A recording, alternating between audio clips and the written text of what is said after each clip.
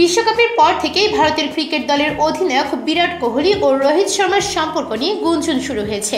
সেই গুঞ্জন আরও চরমে উঠেছে দুই ক্রিকেটার ও তাদের স্ত্রীদের ইনস্টাগ্রাম কাণ্ডের পর। কিন্তু ওয়েস্ট ইন্ডিজ সিরিজে মাঠের মধ্যে কিন্তু সেরকম কিছুই চোখে পড়েনি।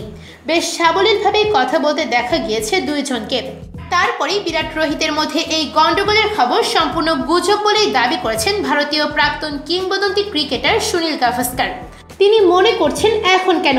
আগামী বিশ বছরেও মিটবে না বিরাট রোহিতের দ্বন্দ্ব। তার মতে অসৎ উদ্দেশ্য নিয়ে এই দ্বন্দ্বের কাহিনী ছড়ানো হচ্ছে।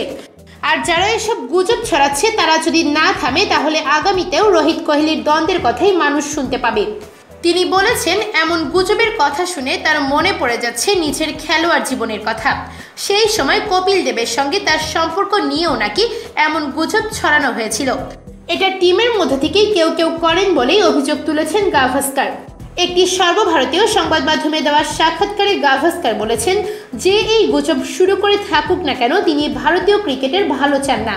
আর এটা সাধারণত দলের মধ্যে থাকা কিছু হতাশ ক্রিকেটাররাই ছড়িয়ে বেড়ান। তারা হিংসা করে দলের ক্ষতি করে।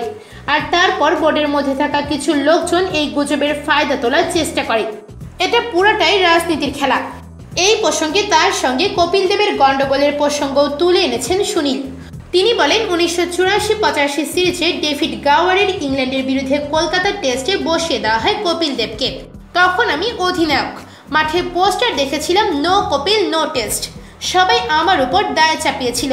অথচ এক্ষেত্রে আমার কোনো হাতই ছিল না। সুনীল জানান বছর খানেক পর বোর্ড সিলেকশন কমিটির সদস্য হনুমন্ত সিং একটি প্রতিবেদন লিখেছিলেন। লিখেছিলেন এই সিদ্ধান্ত কমিটিরই ছিল।